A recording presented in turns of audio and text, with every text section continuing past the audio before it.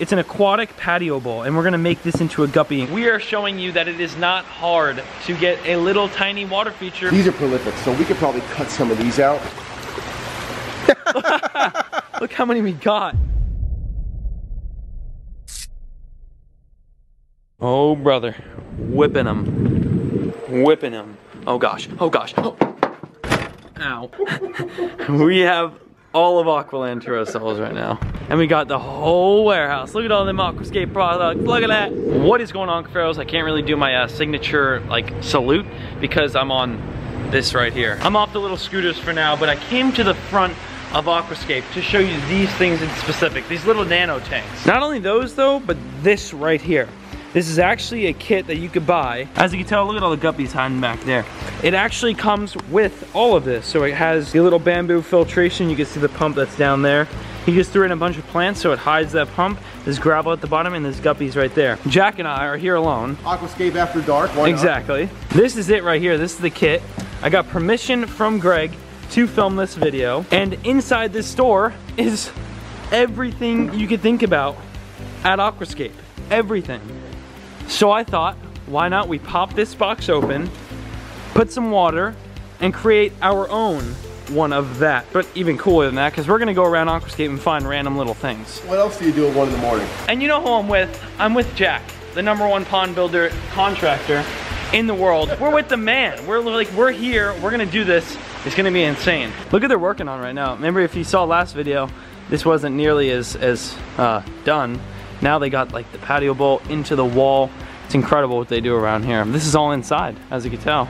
For some reason on this camera, white lights just like fog. It's weird. It is so lit up here. And look at that. Got waterfalls everywhere. We'll probably even thin some of these out. Yeah, I saw him picking them today. Why don't we So thin I'm some sure- of these out, take some of these, Yep. Maybe Look how like green the- they are, dude. maybe one of the plant. You want to put some fish in it? Yeah, let's find some fish for it too. So Carlos, the guy that put the guppies in here, said there's a ton of feeder guppies. So when we make our own, we could set it up just like this one and put those some of those feeders in there because there's a lot of guppies in there. Yeah, we could totally divide them out, put them in our little patio Yep. pond. And then we'll set it up for display like right here. So when they come tomorrow morning, something's just appeared. So now we're running the Aquascape store. Of course. It's an aquatic patio bowl and we're gonna make this into a guppy enclosure. Oh! Oh! Oh! Hey! Real simple and easy here. Now how many of these have you installed?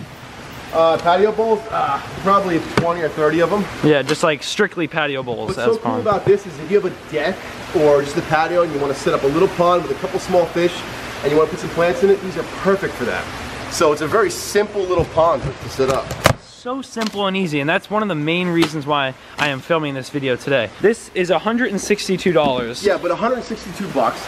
It comes with a pump, comes with the plumbing, comes with a water feature and the bowl. You basically add some Everything. and some fish and you're done. You have the whole pond right here Yeah. in your hands, and that's what you can make it look like with a $2 plant they just threw in there. Oh, yeah, let's not do that. Remember, styrofoam is just not good. 90 gallon per hour pump right there. And then what else we got? Comes with a spitter, which is like a decorative feature with the plumbing attached. This couldn't be any easier Oh. to put in. And that's gonna create oxygen. It's gonna create oxygen, it's gonna have a waterfall, Yeah, which all that sound. I wanna take this home. This goes in here like this. Yep. And pops right in. This goes in the back, like no that. way. No way, dude. Pump, plug the pipe right in there. Just a little bit of squeezing over so it stays on there. Boom. That's it, man. That looks good already, and it doesn't even have anything in it. Well, what's cool, is it's so instead of having the cord hanging out at the top of the bowl, Yeah.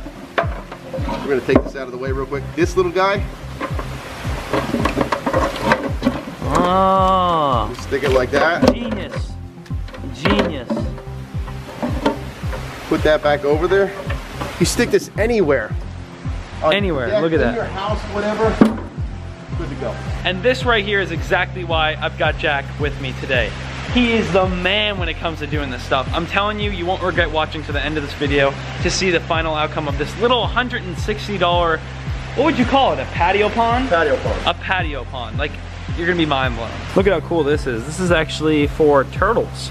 It's the same exact thing, just a bit bigger, and as you can tell, the log comes up. You could probably hang like a basking lamp over this. It's $300, and then 75, so you get 375 bucks, you got a bigger enclosure for a turtle, which is, dude, it's just like random little things they could think about. So I, I get the stuff out of uh, the Outer Banks, like or nature, and it, it rots, right? Yeah, So and it leaves time, that- that driftwood's gonna rot. tint. This is faux driftwood. It's made out of resin, never gonna rot. You put it in, it's gonna look like this 10 years from now. Yep.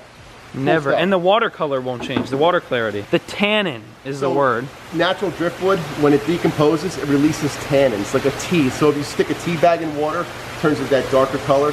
Same thing with driftwood. After time, it starts to tint the water like a tea color. Jack and I have no way to get gravel. It, it is literally negative 50 degrees outside with the wind chill. It's negative 22, wind chill is negative 50. You don't want to step foot outside, let's just say that.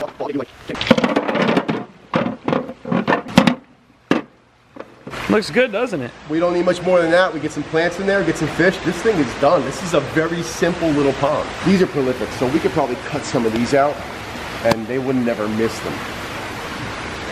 Let's do it. Let's get ones that aren't like too big and noticeable like that. You cut that out, Greg's gonna notice. Jack, you know, I don't know why we're hiding anything. He's gonna watch this video. and pretty much everyone else that's here. But So- you know what? They're they're watching us on camera here someplace. Oh, I know she is. Somebody's She's already watching. Uh, last time I was here, I went outside in the pond out front, walked on the snow across the pond. I got in trouble. She's like, what if you fell through? Could have died, no one was here. Colleen is always watching. Always. This might not be the right plant, Paul. We should get the back where it's almost overgrown because we don't want to, of course, affect the tank at all. Yeah, see the back, how they hang over like this? But this stuff grow this stuff grows back so fast. The roots of these plants hang down in the water and they just suck up nutrients like fish waste and all that. That's what's gonna help keep that little patio pond clean is this. Yep. So Jack and I have picked out our plants. So this is in a pot and we don't want all that dirt leaching into the water. We should grab one of those planting. Yeah, let's do it. Yep, planting baskets. It That's- says you get think that to small one this it. one. Yeah, what's cool about $3.99. that? It's a mesh. Take the plant out of the pot. Yeah. That lets all the water in. It's gonna keep the soil from leaching into the to the water. Yep. That's gonna solve our problem. aquatic planter. It's gonna do it for us. So the plan is, that's not deep. We have rocks, and what we're gonna do is pretty much build it up so that these plants aren't like fully submerged in water. They're just slightly submerged because they're raised by these rocks right here. So Jack is uh, doing his little rock work. So check it out. You want to put it in so that it's not taken away from the look of things. If you live in Chicago, I'm actually gonna link the location to Aqualand down in the description below. Come over to this place, check it out yourself. Maybe get some of these products, maybe get this to do yourself. I don't know what you might wanna do once you get here. I'll have the location down in the description. As well as, ha, let me tell you, the genius man himself, Jack from Atlantis Water Gardens. I'll have his channel linked in the description. Go show him some love. See how many subscribers we can get him up to. What are you at now? We're almost 12,000. We're, I'll make it hit 15. Is that possible, you think? That's possible. They're very powerful. 15,000 subscribers. Let's see if we can get Jack to 15,000. This aquatic planter, $3.98. Yep. But it comes with two planters. Oh, for four bucks, you're getting two planters. I thought I came in one. And these are perfect size for that pot. Like perfect, size. So we're just gonna take this, this pot with the soil. I'm just gonna grab it here so I don't let it all fall on the ground. I'm gonna pop the pot right off just like that. I'm gonna slip this guy right over it. It's that easy. That easy. And that won't let, it'll let the water in, but not the soil out. Exactly. So oh now Oh we got my goodness. we got our plant, which is contained within the planter. So we could take this guy who's a straggler, put him around here, and have him just drop right back in.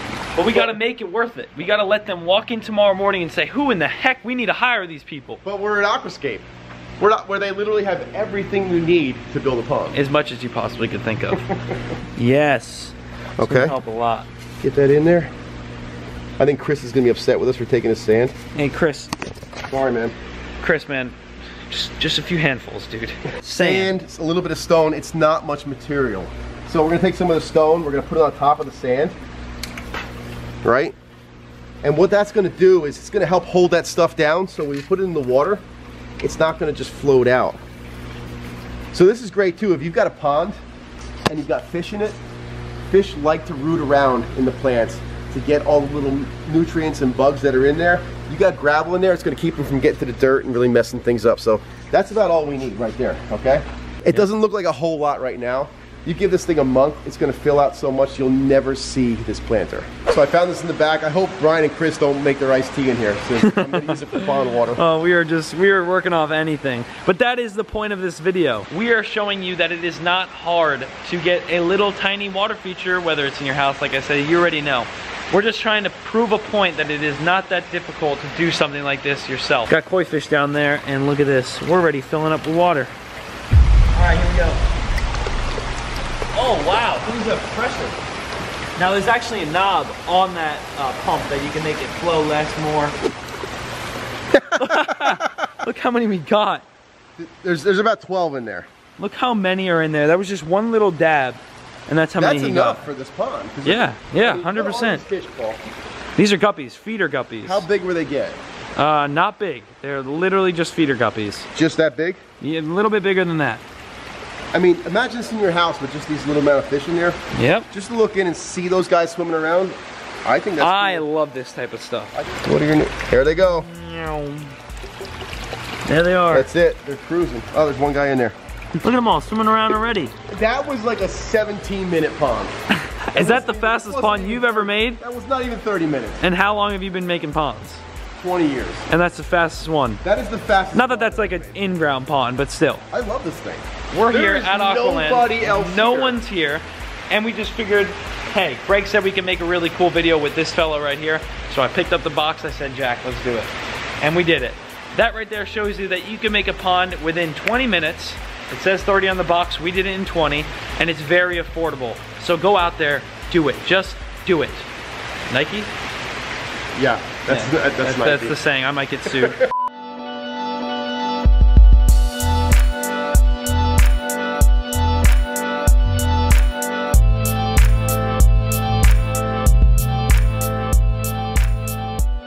All right, well, there you go.